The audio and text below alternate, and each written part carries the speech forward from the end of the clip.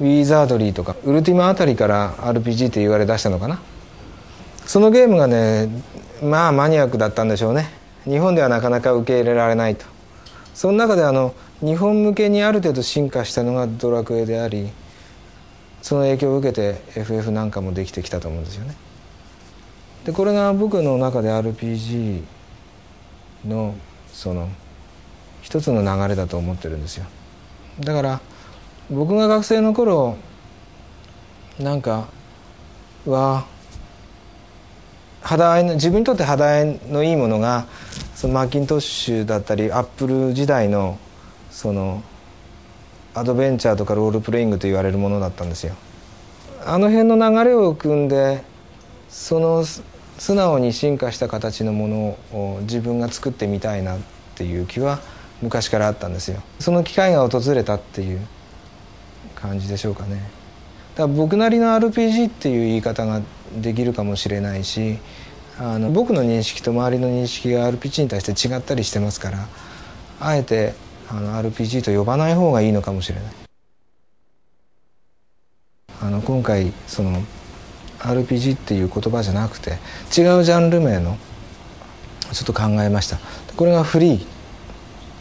FREE ですね。今までのゲームよりもずっと自由だよ。制約が少ないよ。っていうものをあのやってみようということでフリーと言えるんじゃないのかな。フリーっていうのは頭文字を取って Full Reactive Eyes Entertainment。エンターテイメントというのは娯楽ですよ。フルっていうのは完全とかあのまあフルスケールのフルと一緒ですね。 Reactive。Reactive っていうのはその完全に反応するという意味ですね。 Eyes、目のことですね。目はあの左右で一つの対になってますし現実と超現実もしくは仮想現実だったり過去と未来だったりその一個だけではやっぱり語れないと思うんですよ。表裏一体みたいな形で必ずこうペアをなして双極にあるものが混在してそれが結構いいバランスでまとまってる。でもう一つの意味はあの合図っていうのがその人間の機能の中で一番繊細でセンシティブでデリケートですごいこう全域反応する非常に繊細な目を持つフルリアクションのそのゲームですよ。そのごく一般のあのユーザーから見ると一つ前の僕の作ったゲームって一番印象に残ってるはずなんですよ。だから今僕はバーチャルファイターの鈴木優なんてよく言われるんですよ。ドライブもやったこともあるし本当は違うゲームもやるんだけどもどっかであのファイティングゲームのイメージ強いんですよね。だからバーチャルファイターっていうのはある意味 マニアックだったりその非常にクリティカルなっていうかその微妙なこうタイミングを要するそのファイティングゲームじゃないですか。一言で言うと難しいタイプのゲームかな。そういったゲームにしちゃいますとねやっぱり世界の子供たちが共通にできなくなっちゃいますよね。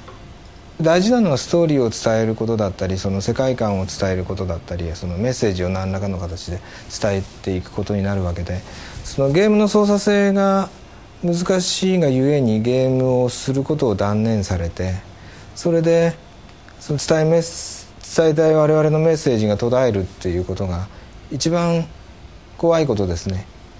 だからあの広く多くの人に遊んでもらいたいのであの世界共通の題材なんですよ。内容的には。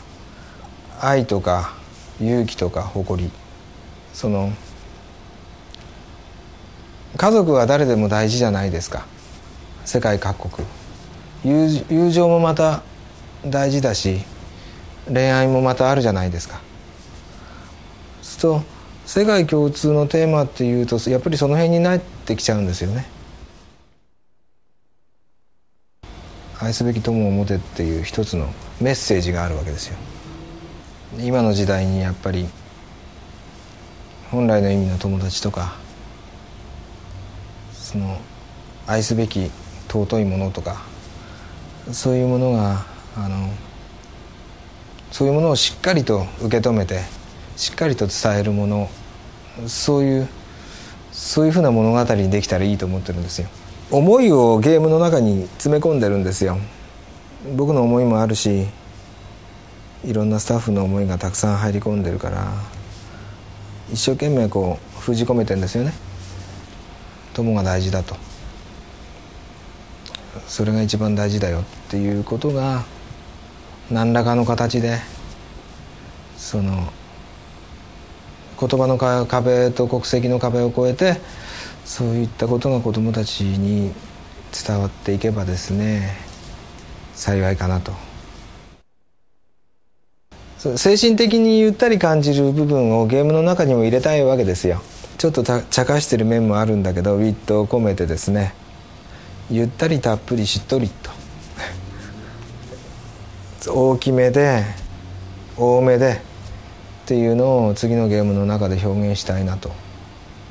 思ったんですよ。世界観っていうのはきちっとしたものじゃなくてその必要な世界観よりも一回りか二回り大きめのものを用意してあげると。全てにおいて。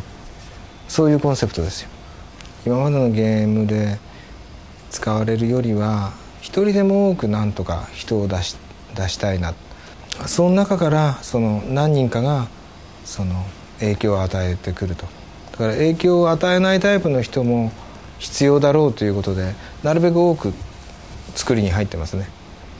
発売までには500体ぐらいのあの 3D のモデリングを終了する予定なんですよ。でもう一つあのゆったりたっぷりしっとりからちょっと考えられるのはあの、まあ、広大な世界と同じく深いこう歴史の深みとかってそういうふうにも取れるんでね。広大な感じと深さっていうのを併せ持つ中国大陸へのロマンって言ったら変なんだけどもあの、まあ、中国を題材にしたいなと。